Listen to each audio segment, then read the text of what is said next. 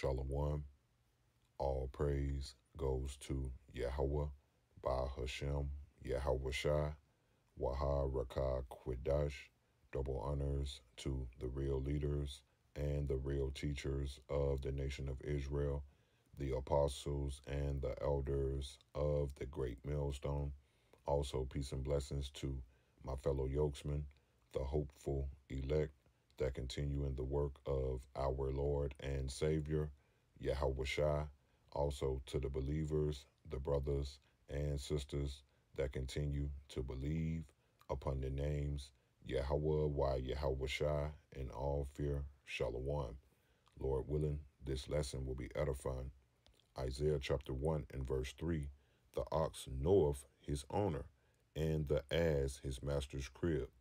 Now, the ox and the ass are considered two lesser intelligent animals, but they have knowledge of their owner and their master's crib.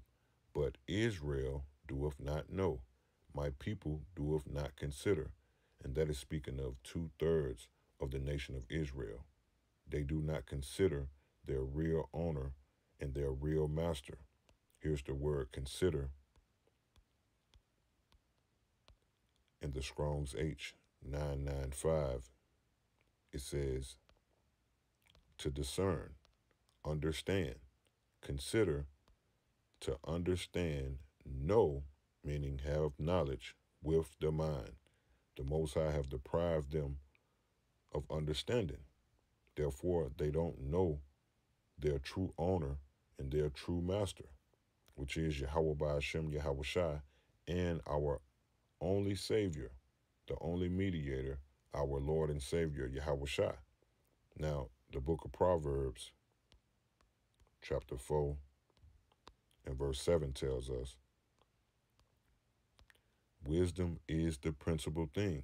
Principal meaning first or chief thing. Therefore, get wisdom, and with all thy getting, get understanding, because understanding is going to be the way that you apply that wisdom and knowledge that you receive in your everyday walk and in the times to come.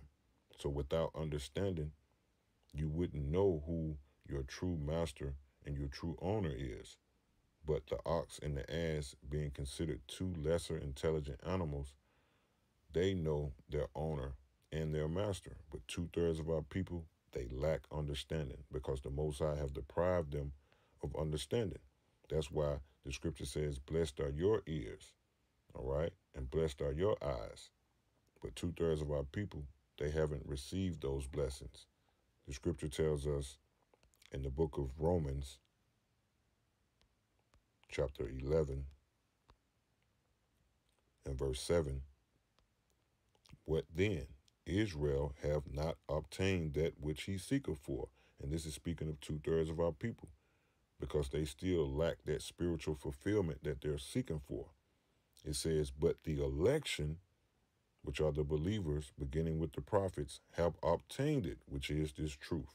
And we have obtained it through that understanding that the Most High have given us through his mercy. And the rest, which is two thirds of our people, were blinded, and they are spiritually blinded. It says, according as it is written, the Most High have given them the spirit of slumber, which is spiritually slumbering, eyes that they should not see, and ears that they should not hear, unto this day. So even unto this day, two thirds of our people are spiritually blind because the Most High have deprived them of understanding. Verse 9 it says, And David said, Let their table be made a snare and a trap and a stumbling block and a recompense unto them. And a stumbling block is meant for you to trip and fall.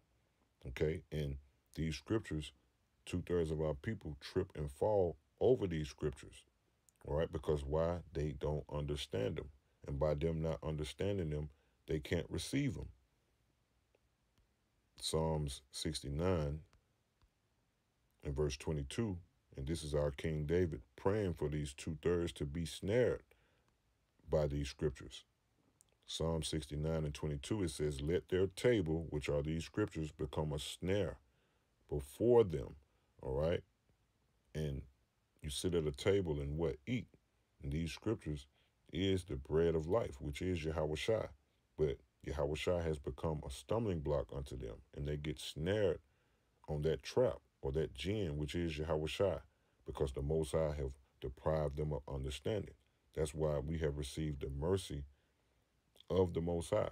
The Most High have given us favor by giving us understanding. It says, and that which should have been for their welfare, and that which should have been for their benefit, let it become a trap.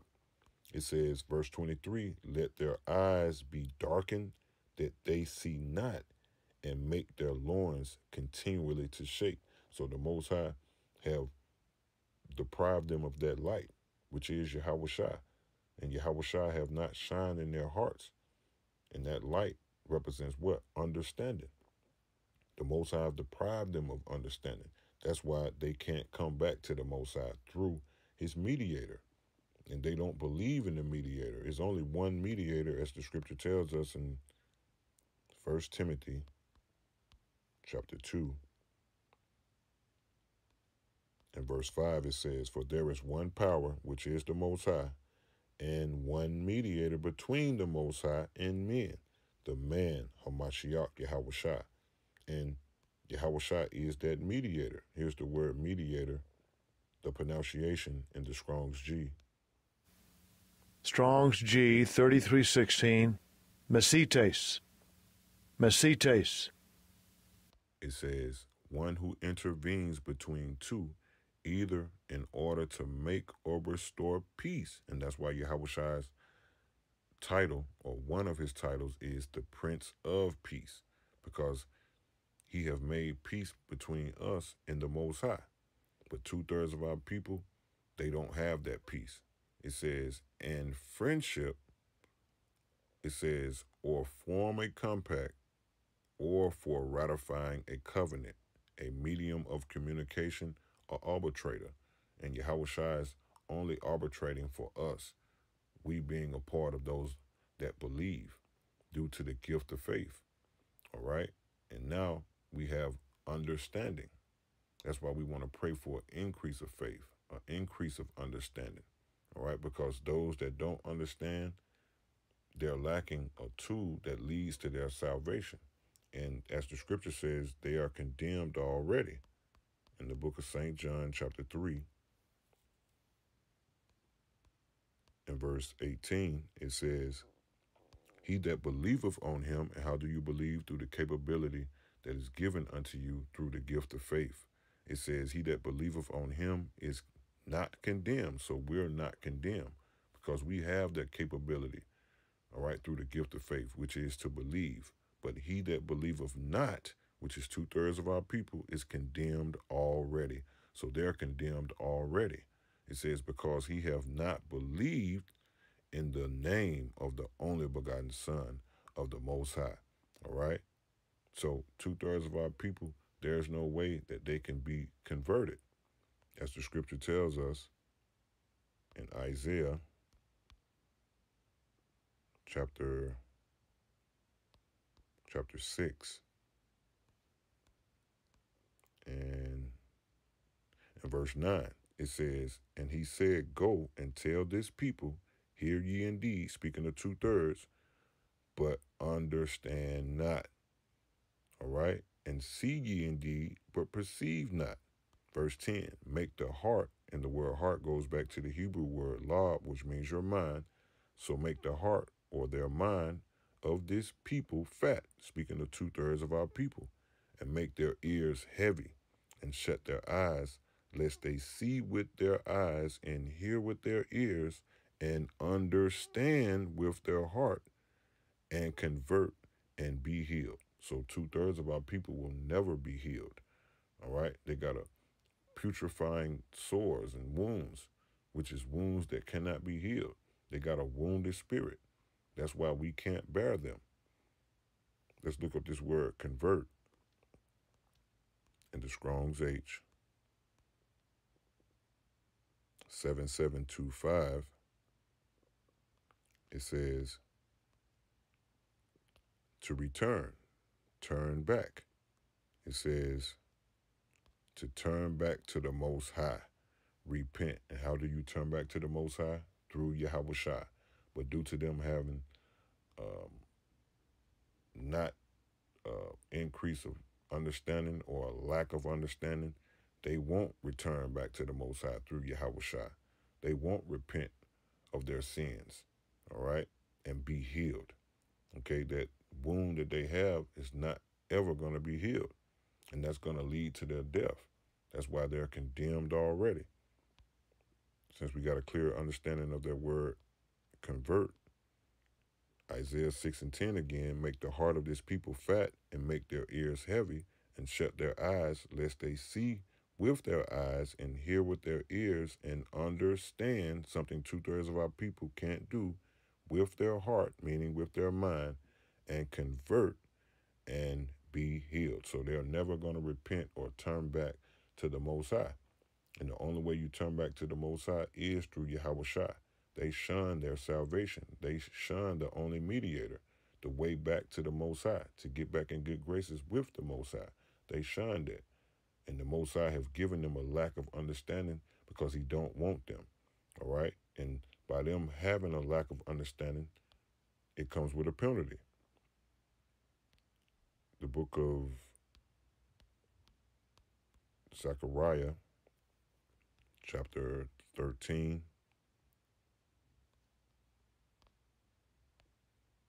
verse 8, it says, And it shall come to pass, which is prophecy, that in all the land, saith the Lord, Yahweh Ba'ashem, Yahweh Shai, two parts therein shall be cut off and die. And that's the penalty for the Most High not giving them understanding. And it's the perfect will of the Most High because he don't want two-thirds of our people. But the marvelous thing about it is two-thirds of our people will be saved in the kingdom because they're going to come back through those that have understanding. All right? It says, but the third shall be left therein. All right? The one third, starting with the prophets. Verse 9, and I will bring the third part through the fire and will refine them as silver is refined and will try them as gold is tried. And we're going through that process now, being a part of the one third. We're being refined. All right, we're being tried. Okay? We're going through that fiery furnace to get all of the dross off of us so we can be perfected in that day. Lord willing, we endure unto the end. That's how we're going to reach that perfection. It says, They shall call on my name, and we believe upon the name of Yahweh Yahweh Shai. All right? It says, And I will hear them. I will say, It is my people, and they shall say, The Lord, Yahweh Ba'ashem, Yahweh Shai, is my power. So we believe in those names, Yahweh Yahweh Shai. And the only way that we're going to be in good graces in the sight of the Most High or even be accepted in the sight of the Most High is come through his mediator, the only mediator. Yahweh said, I am the way, the truth, and the life. No man cometh unto the Father but by me. And that's something two-thirds of our people lack, which is to understand that. All right? But we that endure unto the end, we're going to be perfected. St. Matthew 24 and verse 13, but he that shall endure unto the end. And what's the end? When the Most High send Yahweh Shai, the rest of the angels, accompanied by the way of 200 million missiles. That's that fire that we're going to be brought through. But he that shall endure unto the end, the same shall be saved. That's why we want to pray for an increase of endurance. Here's the word endurance, the pronunciation in the Strong's G. Strong's G 5278. Hupamano. Hupamano. It says to persevere under misfortunes and trials, to hold fast to one's faith in Hamashiach. And how do we receive faith? By the Most High giving us his marvelous gift. Ephesians 2 and 8. Two thirds of our people, they have been deprived of faith. They have no faith in these scriptures because these scriptures has become what? A stumbling block unto them because they don't understand. And the Most High have deprived them of all those gifts that leads to salvation because the Most High don't want two thirds on this side. That's why they can't be healed. That's why they don't consider. That's why the ox and the ass, being two lesser intelligent animals, are smarter than two thirds of our people. But we, being a part of the hopefully elect, we have received mercy and favor from the Most High because we have the gift of faith and we have the capability to consider, all right, which is to understand with our mind, okay, and to have sight to be able to see. And that comes by the light, which is our Lord and Savior, Yahweh Shai, all right, which is the only mediator. And if we continue unto that, or in that, the scripture tells us, St. Matthew 24 and 13 again, but he that shall endure unto the end, the same shall be saved. So we're going to receive what? A crown of life, which is Yahweh Shai receiving us at his coming. And that's due to the Most High having mercy upon us by giving us those gifts. But two thirds of our people, they shall be destroyed, and it's rightfully so, because the Most High have deprived them of that, and it's going to be justified, justified at the coming of Yahweh for them to be destroyed. So, you know, Lord willing, I pray that this made sense and that this was edifying. Death to the two thirds, DTA.